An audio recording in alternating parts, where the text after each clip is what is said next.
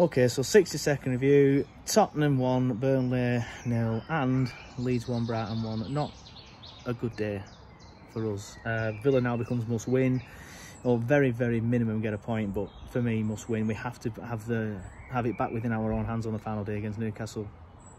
Um, but just going into the game, that's I'm not having that penalty. I know people say by the letter of the law it is a penalty, and I agree with that because his arm's in an unnatural position. But a he's just had a tussle and a push or he's trying to regain balance or take, take, you can take the unnatural position into context. It, when you're trying to gain balance it's not an unnatural position is it? Uh, and b do we get that up the other end? No chance but we played very very well. It's very very deflating to be in this position that we're in now after playing so well. They would never have scored against us even if they were still playing now um, in that system. I like that new system. It, it, makes us look very very solid. But the problem is going forward we didn't have much bite up front again and it's been the, the, the, the same all season. But must win against Villa. Must win.